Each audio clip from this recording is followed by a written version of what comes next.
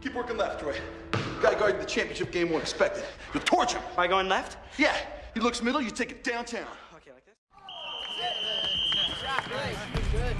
West High Knights have knocked us out of the playoffs three years running. And now we are one game away from taking that championship right back from them. It's time to make our stand.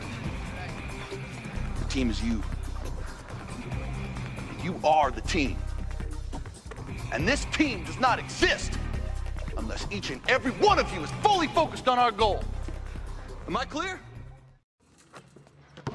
Still don't understand this whole detention thing. It was my fault. Sorry, Dad. Cross court. You know, Darbus will take any opportunity to bust my chops, and that includes yours, too. Hey, Dad. Did you ever think about trying something new, but we're afraid of what your friends might think? I mean, like going left? You're doing fine. Come on. Well, no.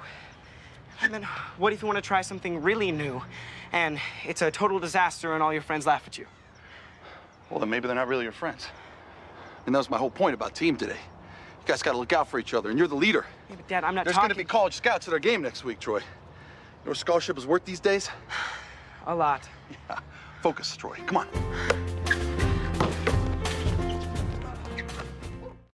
You're the team leader. And what you do affects not only this team, but the entire school. And without you completely focused, well, we're not going to win next week. The championship games, they don't come along all the time. There's something special.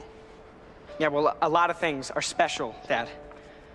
But you're a playmaker, not a singer. Hey, Did you ever think maybe I could be both?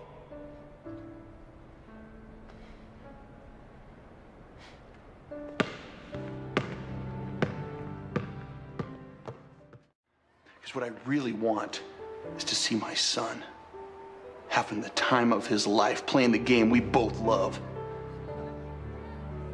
You give me that, and I will sleep with a smile on my face no matter how the score comes out. Thanks, Coach. Uh, Dad.